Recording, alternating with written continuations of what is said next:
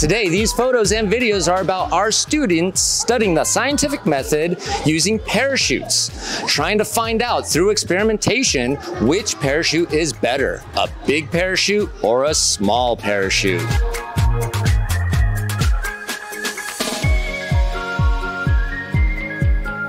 Today we did science class and we did because we we did an experiment to drop the parachutes and because it was so much fun and we really like it a lot.